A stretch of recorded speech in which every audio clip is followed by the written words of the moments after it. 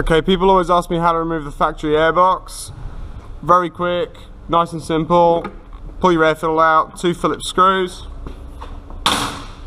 Remove all the plastic trim screws from this panel. Pull the panel completely out. Don't forget to take these two off. Just go into there.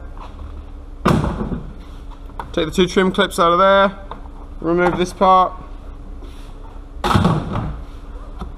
This lower section here unclips out of the inside of the airbox. Take that out.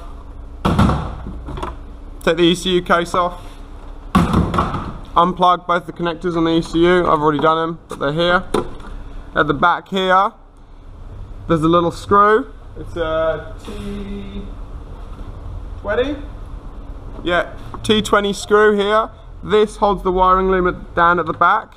You need to remove that, and then there's a clip at the front. Then you can pull the wiring loom out. Remove, again, two screws T20 on the MAF sensor.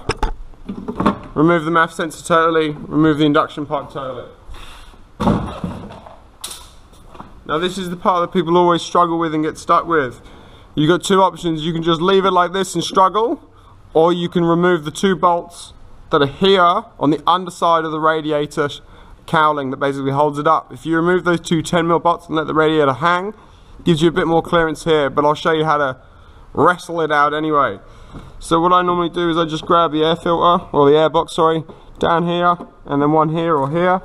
Give it a good wiggle and a tug up. And it'll come out of its pegs like that. Then you want to jimmy it. You want to actually tilt it down at this end and jimmy it along. And then, this is the tricky bit, you tilt it up like this and then you pull it out. If you just try to go all the way along, it won't clear it. This bit here gets stuck there. So if you want to do, drop the radiator, it gives you a bit more clearance, but you can just do it like this.